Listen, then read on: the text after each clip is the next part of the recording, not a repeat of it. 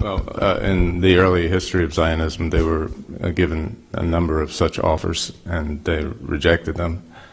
Um, they reject, rejected them in part for uh, for the uh, reasons that you would certainly invoke uh, of, of irrational religious belief about um, their right to to that piece of land.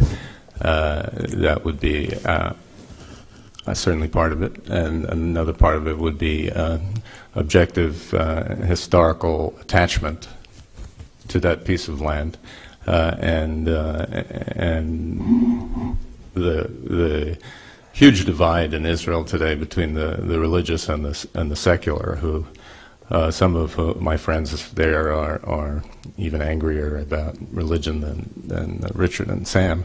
Um, is sort of along these lines. There are people who, who are committed to the place because of of religious faith, and people who are committed to it because of uh, historical attachment.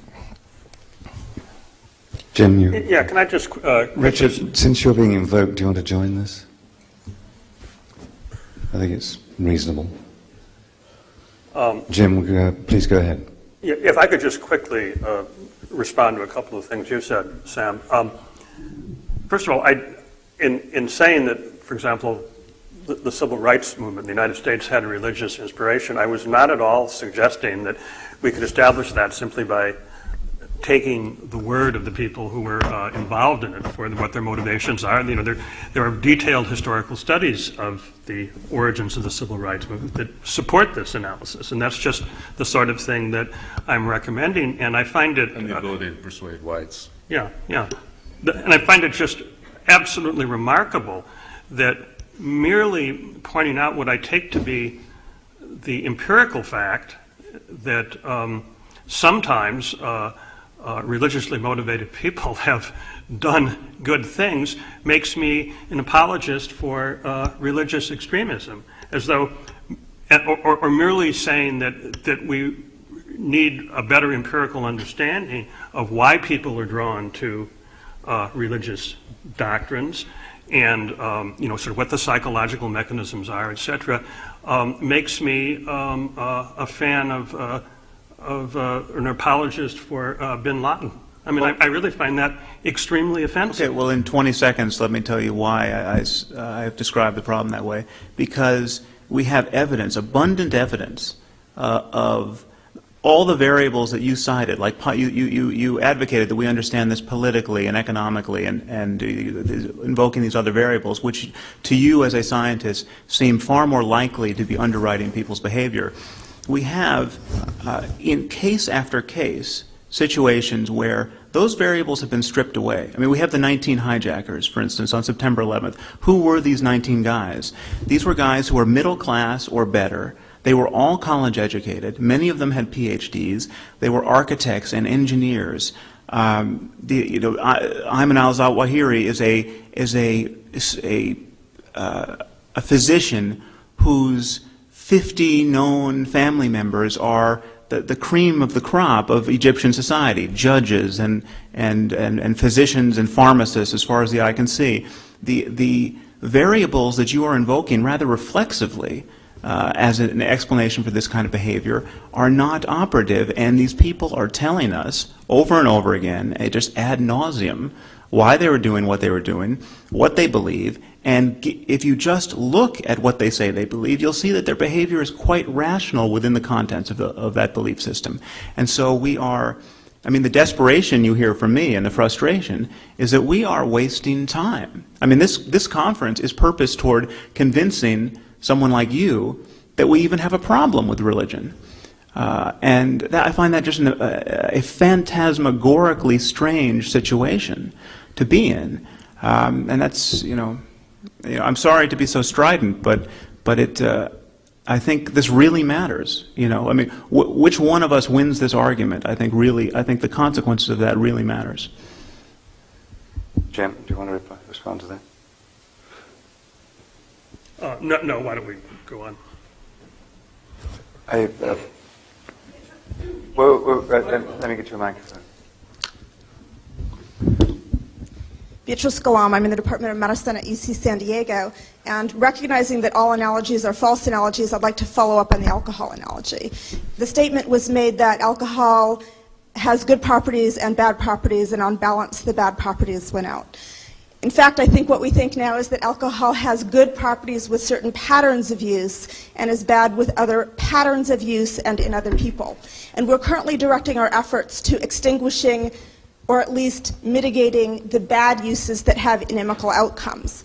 One thing we've discovered is that these bad uses are increased by certain reward systems. In this case, um, inherited alterations in the dopamine system that lead to increases in reward for excessive alcohol consumption in certain people. And one thing that we direct our efforts to doing is counterbalancing those rewards by things like antabuse that make the punishments exceed the rewards for those bad uses in those individuals who use them badly.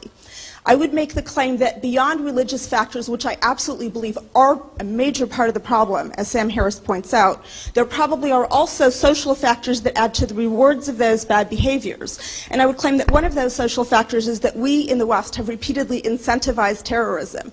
We've incentivized it by interceding on the side of the terrorists in Palestine, in Kosovo, as it was pointed out when they did the cartoons and demanded that we not say bad things about Muhammad, a lot of people caved. And any behaviorist will tell you that when you reward a behavior that is in the rational interest of a group based on its beliefs, people will increase those behaviors. Perhaps one approach is to seek to find ways to de incentivize rather than reward those behaviors by when those behaviors engaged in taking things back, doing the opposite of what it is that that group seeks to gain by engaging in those behaviors. I think, Mel, you made the No, I- I- comment you want to talk about. I, I certainly have no problem associating myself with what you just said. Uh, I, I don't want to repeat it. I, I think that um, the reason that you were able to say it is that an empirical approach was taken to the the harm done by alcohol, the good done by alcohol, the the behavioral and and uh, neurobiological mediators of of both, and uh, and result uh, um, a treatment plan uh, for the alcohol problem, if you want to call it that. But you know, I, I really don't, if you want to call it that. But you know, I, I really don't want to just let this be a uh, a discussion about good effects of alcohol versus bad effects of alcohol. I want to keep in mind, most importantly, because this is this is the most relevant part of the analogy to what Richard and uh, and Sam are proposing. Keep in mind the cost of prohibiting alcohol, the cost of trying to eliminate the alcohol use. Richard and and, Who's and advocating Sam the are very much prohibition like, like the, the temperance movement. Uh, they No, no, want no, to no. get rid of Absolute- something that's bad. That's absolutely So, untrue. so can, we, can, we, can we do two, there's two points that I'm actually interested in that, that, that, that you both mentioned. One is the one that you're just about to go to, which is are you advocating the abolition of religion? Let, let me finish. And the second one is to, I suppose, this, this team over here, which seems to have shaped up, which is um, when Sam mentioned uh, Nuremberg and, and you know the, the huge rallies and so on, I mean, duh, doesn't that look like some kind of a signal? Why were people too slow to react? And is are we in the same situation now? Are we? I mean, what kind of a signal do we need to be convinced that this is uh, as historic and pressing a moment as Sam would and, and Richard would argue? Um, the the uh, the moment is pressing. Uh, I you know I have to say I grew up in the in the 50s um, when the Soviet Union and the United States had pointed at, each other uh, on the hair trigger uh, uh, the power to to pretty much destroy uh, human life on Earth, if we believe Carl Sagan's analysis at least. And uh, and I'm worried right now, but I'm not as worried as I was when I was 10. We used to have a joke when I was 10 uh, uh, in Brooklyn. Um, when you hear the air raid siren, um, crawl under the desk, crouch down, put your head between your legs, and kiss your ass goodbye. And that was what even the 10-year-olds in my neighborhood knew would ha- would the, the the you know the response to the raid would would, would end up being. The 20, the, the, let, let, let me say that, that um, uh, the, the specious analysis of the of Stalinism and, and, uh, and Nazism that we've heard um, does not go to the heart of, of, of the issue. Uh, as a scientific question, and I'm a social behavioral scientist, the scientific question is what makes these terrible things happen? And their answer is religion. And we have repeatedly cited Pol Pot, uh, to the anti-Semitism is anti-Semitism, sure. What about anti-Tutuism? Uh, uh, uh, what about the Tutsiism? What about the, the, the destruction of 800,000 lives in a month or two in, uh, in um, Rwanda? What about uh, uh, the, uh, the killing of communists in Indonesia uh, uh, on a mass scale? These are not um, motivated by religion. They are expressions of, of, of enduring flaws in human nature which need to be addressed by science. And sometimes religion encourages them. I fully accept that. Sometimes they're even expressions of religious indoctrination. I fully accept that. But this is a, a, a much broader phenomenon, and a scientific approach requires that you look at the, at the available cases and, and gather the information you have, and you will find that you cannot use uh, religion as an explanation for many of those cases. You Can can use it for some of them.